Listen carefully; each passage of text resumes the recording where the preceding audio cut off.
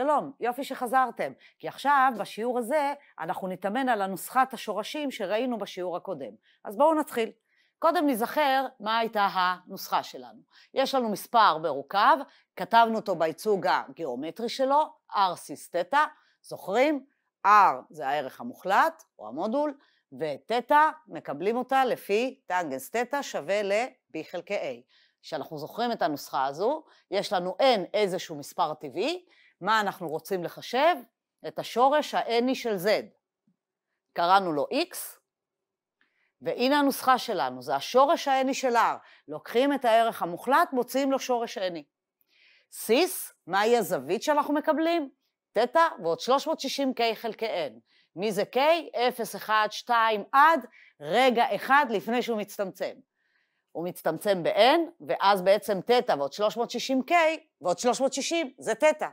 ולכן אנחנו לא לוקחים, אנחנו עוצרים רגע אחד קודם, וזה אומר ב-n מינוס 1. עכשיו נתאמן על הנוסחה הזו, נפתור כל מיני uh, תרגילים שמשתמשים בנוסחה הזו בשביל לפתור אותם. אז בואו נתחיל בתרגיל הראשון. מה אומר התרגיל הראשון? בסך הכל לחשב את השורש השלישי של המספר שכתוב פה בפנים. מי הוא המספר? מי הוא ה-z שאנחנו מוציאים לו שורש? 3 ועוד i שורש 3. אז מה הדבר הראשון שאנחנו צריכים לעשות? לעבור לייצוג טריגונומטרי. מה הדבר השני שעושים? מציבים בנוסחה וסיימנו. אז בואו נפתור. אז הנה המספר שלנו, והנה מה אנחנו רוצים לחשב. n שווה 3, שורש שלישי של z. בואו נעבור לייצוג טריגונומטרי. r שווה לשורש של 9 ועוד 3. 3 בריבוע, שורש 3 בריבוע. לכן זה 9 ועוד 3, שורש 12.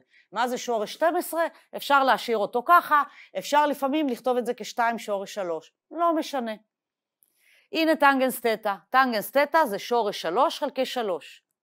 שורש 3 חלקי 3, אני מקווה שכבר אתם רגילים שהאחד הזה מסמן לנו שזה ברביע הראשון, ולכן התטא שלי צריכה להיות בין 0 ל-90 מעלות. במקרה שלנו, אם הטנגנס הוא שורש 3 חלקי 3, הזווית המתאימה ברביע הראשון היא 30 מעלות. אני תוך כדי מזכירה לכם את הייצוג הטריגונומטרי. זהו, עכשיו, לפי הנוסחה שלנו, כל מה שנשאר לעשות זה להציב בנוסחה. בואו נציב. יש לי שורש שלישי של r, שורש שלישי של שורש 12. שורש בתוך שורש, לא לדאוג, עוד רגע נכתוב את זה יפה. סיס, הנה הזווית שלנו, תטא שזה 30 ועוד 360K חלקי 3. איפה K רץ? מאיפה לאיפה? מ-0 עד רגע לפני שהוא מצטמצם, שזה אומר 2. אפשר לכתוב את זה קצת יותר יפה, במקום שורש שלישי של שורש 12 לכתוב שורש שישי של 12, 30 לחלק ל-3 זה 10, 360 לחלק ל-3 זה 120, כפול ה-K שרץ מ-0 עד 2.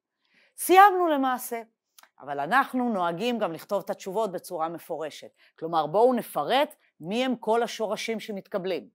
אז השורש הראשון יהיה להציב K שווה 0 זה סיס 10, עם המודול המתאים.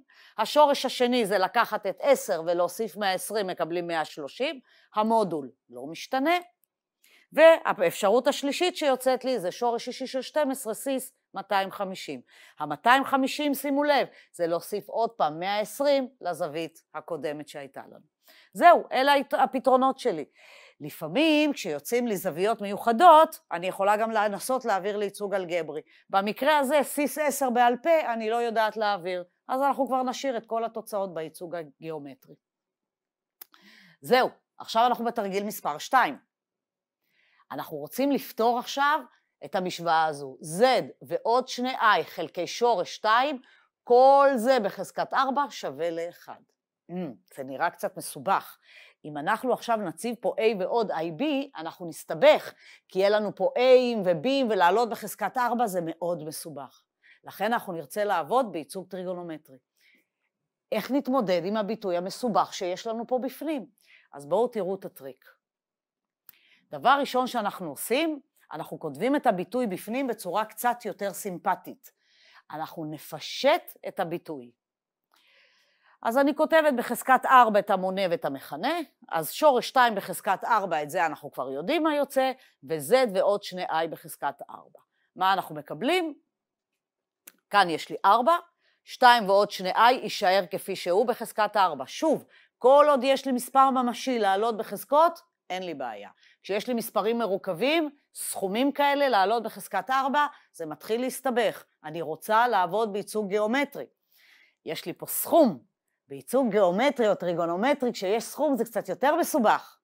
ולכן, תכף נראה איך אנחנו מתמודדים עם זה. בואו נכתוב את המשוואה שלנו קצת אחרת. אנחנו נרצה לפתור 2 ועוד 2i ברביעית שווה ל-4, כן? אנחנו נעביר את זה לפה. אז מה שאנחנו עושים, את 2 ועוד 2i, אנחנו נקרא לזה w. נסמן ב-w.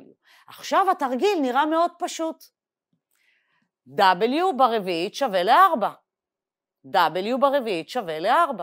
אז מי זה W? זה ממש פשוט, כי W זה השורש הרביעי של 4, את זה אנחנו יודעים לפתור, יש לנו נוסחה. מה נעשה אחרי זה?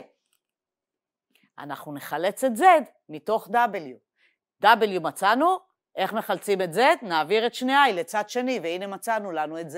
כי לא לשכוח ש-W זה לא מה שביקשו, ביקשו את Z. נחלץ אותו מפה. אז נתחיל במציאת W. בשביל למצוא את W צריך לחשב שורש רביעי של 4. איך מוצאים שורש רביעי של 4? מעבירים לייצוג טריגונומטרי, מציבים בנוסחה. אז הנה, אנחנו נעשה את זה מיידית, כי כבר עשינו כמה כאלה, אז אפשר לקצר את התהליך. תזכרו ש-4 זה, cis, זה 4 cis 0, לכן יש לי שורש רביעי של 4, 0 ועוד 360k חלקי 4, שורש רביעי של 4 זה בעצם שורש 2, cis 0 פלוס 90k, ו-k שווה ל-0, 1, 2 ו-3. למה עצרנו ב-3? רגע לפני ש-k מצטמצם. עכשיו אין לנו ברירה, אנחנו נצטרך לכתוב את התשובות בצורה מפורשת, כי מכל W כזה, ויש לי 4 אופציות, אני צריכה לחלץ את ה-Z המתאים. אז בואו נכתוב לנו את הכל בצורה מסודרת. הנה W0, הנה W1, W2 ו-W3. מזכירה לכם, יצא לנו שם סיס 90. כש-K שווה 0 זה שורש 2, כש-K שווה 1, 90 מעלות זה I, השלב הבא זה להוסיף עוד 90 זה מינוס שורש 2, בשלב הבא להוסיף עוד 90 זה מינוס שורש 2i. אלה התוצאות שקיבלנו מהחשבון. עכשיו מכל W כזה בואו נקבל את ה-Z המתאים. מזכירה לכם מה היה הקשר בין W ל-Z? W הוא Z ועוד שני I, ולכן ZK יהיה שווה ל-WK, כל פעם ניקח W אחר, פחות שני I. פשוט העברנו אגפים. אז בואו נעשה את החשבון המפורש, לא לשכוח שבסוף צריך להביא את ה-Z'ים. אז הנה W0 שווה לשורש 2, אנחנו נציב במשוואה פה שורש 2, מה נקבל? שורש 2 פחות 2i. מה האופציה השנייה? W1 זה 2i. נציב כאן 2i, מה נקבל? 2i פחות, סליחה, לא 2i, זה היה שורש 2i. אז יש לי שורש 2i פחות 2i, בואו נוציא את ה-i החוצה ונקבל שורש 2 מינוס 2 כפול i. זוכרים? מספר מדומה טהור, אז אהבנו להוציא את ה-i החוצה. לא חייבים, אבל זה נראה יותר טוב. W2, אנחנו מגיעים עם מינוס שורש 2, אז אני פשוט אקבל מינוס שורש 2 מינוס 2i, וה-W האחרון, שוב יש לי מספר מדומה טהור, מוציאים את ה-i החוצה, מקבלים מינוס שורש 2 מינוס 2 כפול i. זהו, מצאנו את כל התוצאות עבור Z, שזה מה שביקשו מאיתנו. והנה התרגיל השלישי והאחרון להיום, פיתרו את המשוואה. עכשיו יש לי כאן משוואה, ושימו לב, הנה הנעלם שלי Z בחזקת 5, ועוד כל מיני מספרים מרוכבים שכופלים אותו. זה מה שאנחנו רוצים לפתור. שימו לב שהפעם ה-Z שלי הוא הנעלם, שאותו אני מחפשת. עד עכשיו ה-Z היה המספר הנתון. במשוואה הזו, ה-Z שלי הוא הנעלם. בואו נראה איך מתמודדים עם זה. דבר ראשון, נבודד את Z. אנחנו רוצים את Z, בואו נכתוב מי זה Z. מאוד פשוט. תעבירו את i, תחלקו ב-1 מינוס i, כל עוד זה לא 0 אפשר לחלק חופשי, ותוציאו שורש חמישי. מי זה z? שורש חמישי של i חלקי 1 מינוס i. זהו, סיימנו לפתור, מצאנו. לא, אם אני מוציאה שורש חמישי, אני רוצה לקבל את חמש הפתרונות שיוצאות מהמשוואה שלנו, מהנוסחה. אז אנחנו חייבים לפתור את זה עד הסוף. זה לא אומר שפתרנו, למרות שקיבלנו z שווה למשהו. אנחנו עדיין צריכים לכתוב בצורה מפורשת מי הם כל התוצאות, מי הם כל הזדים. איפה זה נמצא? מי יהיו כל הזדים, שכשאני אעלה אותם בחמ... בחזקת 5, אני אקבל i חלקי 1 מינוס i. זה השלכות של העברת אגפים. את כל הזדים האלה אנחנו רוצים למצוא. איך מוצאים? מציבים בנוסחה את מה שכתוב כאן. אבל בשביל זה זוכרים, ייצוג טריגונומטרי, הצבה בנוסחה.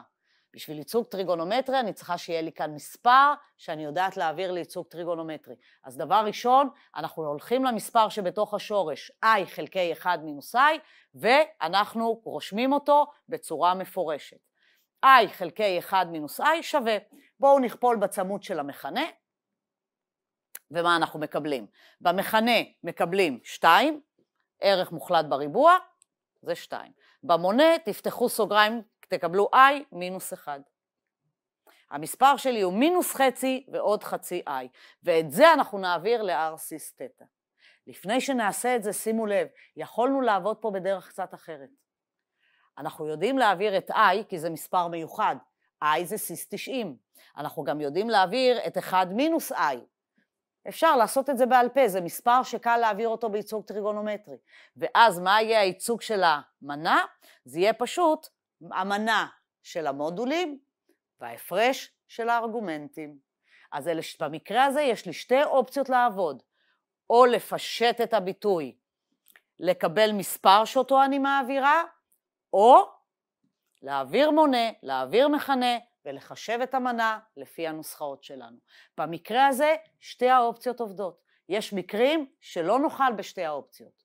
נצטרך להעביר לפני, או נהיה מוכרחים להעביר אחרי.